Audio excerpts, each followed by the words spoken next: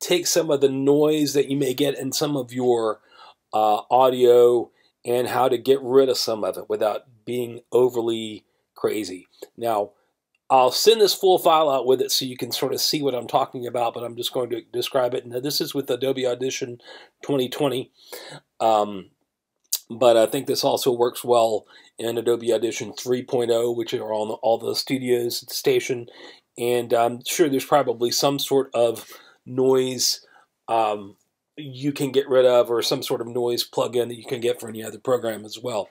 Uh, the main thing to remember is that when you're doing these noise or reduction kind of things, if you use too much of it, it makes the audio not as good. So the first thing you're going to want to do is any audio file that you're recording, save it first as a wave. So when you do those audio uh, audition, when you do those audio alterations, uh, it doesn't uh, make the audio poor quality because if you don't save it as a wave, and we're going to go ahead and change this to 44.1 because that's the way I do everything. And again, change it to 16 bits.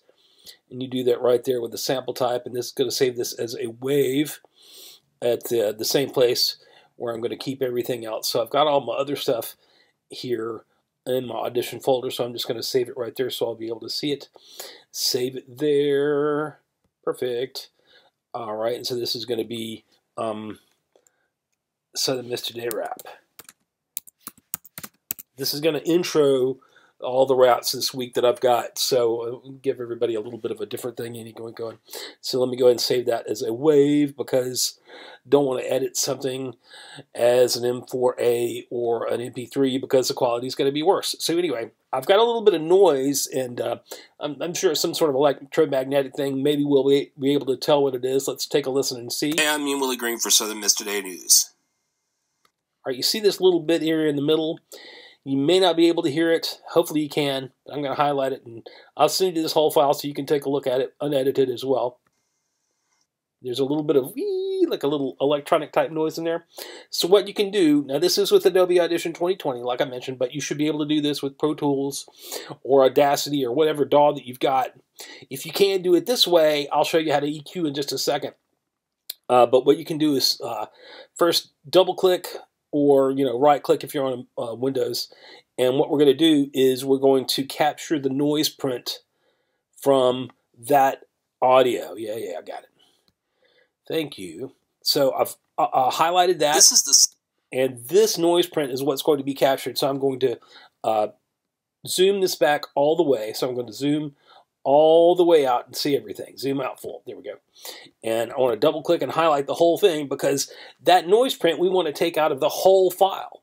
We don't want to just take out that little bit. So double click, right, to highlight the whole deal. Go under Effects. Noise reduction re restoration. Now we've already done that. So noise reduction process, when I hit that, right? And when I open it, what I just captured is going to be shown right here. That is the noise print that I just captured. Now, I've already selected the entire file, so you don't have to do that. But what I want to do is take a listen. Hey, I'm Ian Willie Green for Southern Miss Today News. This That's pretty good. It does. It takes a lot of it. See, I've got about 50% reduced here, reduced by 16 dB, which uh, it's going to show you the amount of dB. You don't have to know what that means, but you can certainly go further and do a little research and find out what that means. I'm not going to go into it right now. So anyway, I've got my noise print captured already. That's what shows up here. I've already selected the entire file. It sounds okay. It's not making it that kind of watery sound and it's not going to affect it because it's a wave. So I'm going to go ahead and apply it uh, because I just listened to it, right? So I'm going to go ahead and apply it to the whole file. Bam, and that's going to see, and I'm going to highlight this right here, go back to where the original noise was, gone, all gone, yay. All right, so that's that. Um, I'm going to do a little bit more of these. We're going to talk about some noise reduction. We're going to talk about best practices for audio levels for all you engineer people, as well as reporters and, and that sort of thing, just some knowledge that you're going to need. Uh, we're going to talk about what compression is and different things like that. That's this for right now. So there's your audio noise reduction. Oh, you know what? Let me do this. Let me go back. I'm going to undo that. And uh, we're going to uh, do this with an EQ rather than the audio selection. So let's go back here and zoom into this little part and going to highlight this once again. Let's get that little T up at the top.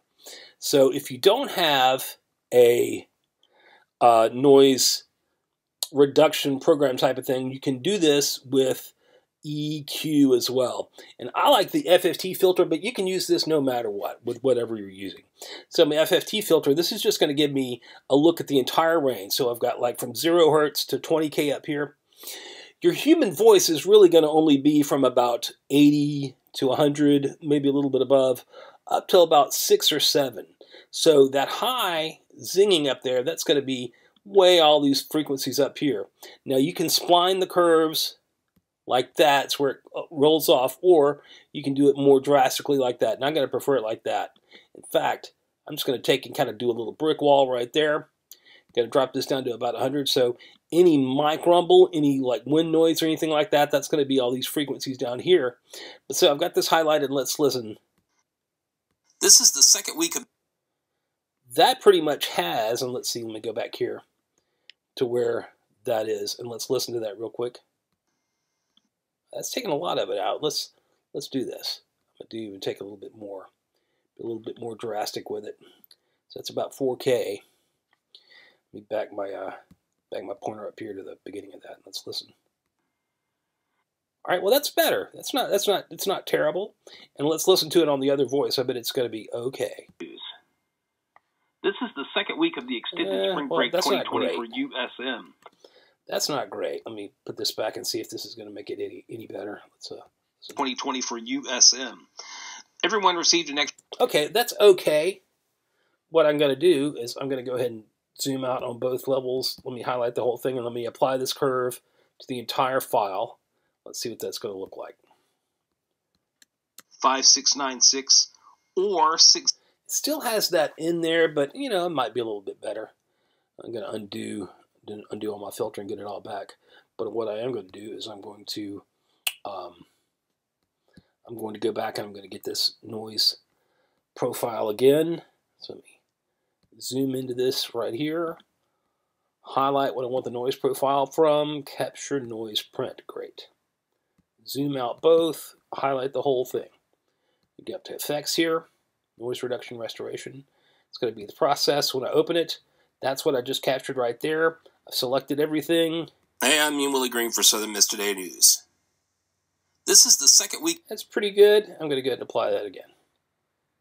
And there it is. Once again, I saved it as a wave. SMT wrap number one. So let me go ahead and hit save again so I can save my new um, noise reduced file. noise reduced file. There we go.